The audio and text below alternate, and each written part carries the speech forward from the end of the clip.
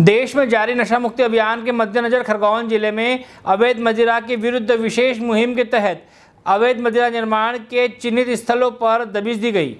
समस्त व्रतों के आबकारी बल, रिज़र्व पुलिस बल तथा थाना मंडलेश्वर पुलिस बल के द्वारा संयुक्त रूप से बसंत कुमार भिटे, सहायक जिला आबकारी अधिकारी के नेतृत्व में बुधवार कसरावत के संवेदनशील ग्राम भिलगांव, मिर्जापुर, अहिल्यापुरा व डेडगांव में अवैध मदिरा निर्माण के चिन्हित स्थलों पर दबिश दी गई। संयुक्त दल द्वारा उक्त स्थलों की सघन तलाशी ली गई व अवैध मदिरा बरामदगी पर वृत्त प्रभारी देवराज नगीना आबकारी उप निरीक्षक द्वारा मध्य प्रदेश आबकारी अधिनियम की धारा प्रकरण दर्ज कर छह आरोपियों को गिरफ़्तार किया गया। उक्त कार्यवाही में कुल 320 लीटर हाथ भट्टी मदिरा 9 बल्क लीटर देसी मदिरा जब्त की गई तथा 14,500 किलोग्राम महुआ लाहन मौके पर विधिवत नष्ट किया गया। उक्त मदिरा व लाहन का मूल्य सात लाख पैंसठ हज़ार रूपए है। कसरावत शकील खान की रिपोर्ट।